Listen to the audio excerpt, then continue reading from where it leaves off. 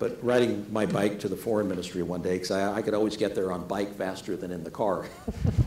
and you always pull up at the gate there, and the and the and the and the and the PLA guard, the Wu Jing looks at you like, oh, here's a crazy American again. Should we let him in or not? and uh, on one occasion, I pulled the bike up, and there was a North Korean ambassador's car. This is right after the sinking of the Cheonan, uh, which was a very tense time in the relationship. And I parked my bike right in front of the Korean ambassador's car, thereby blocking him in. I thought that was pretty cool.